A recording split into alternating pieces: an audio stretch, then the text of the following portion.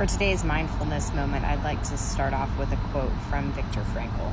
Between stimulus and response, there is a space. and that space is our power to choose our response. In our response lies our own growth and our freedom. To create this space that Viktor refers to, we'll use the acronym STOP. The S for stop. Stop what it is that you're doing. Taking a moment to T, take a breath, or two or three, with eyes opened or closed. O, observe. Observe what it is that you're experiencing physically, mentally, emotionally, taking this moment to pause. The P is for proceed. Observing before you proceed. Proceed with the response. Giving yourself this space gives you the power to choose your response. And in that response lies your growth and your freedom.